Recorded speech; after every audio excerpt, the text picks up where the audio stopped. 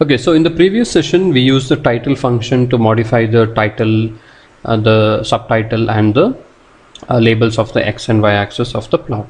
But we encountered a problem there in that the default labels from the plot function were also appearing in the uh, final plot that we saw, right? So in this session, uh, we'll ensure that the default labels don't appear and only the labels that we specify appear in the final plot right? So uh, the uh, code remains the same uh, which we used in the previous session. We use the plot function and the mtcars uh, data set and the displacement and miles per gallon variable to create the basic plot.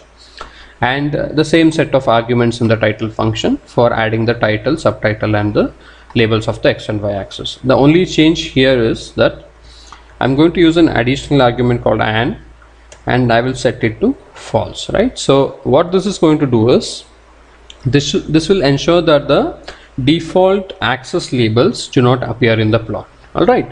So let us go ahead and check it. Right? So here you have a plot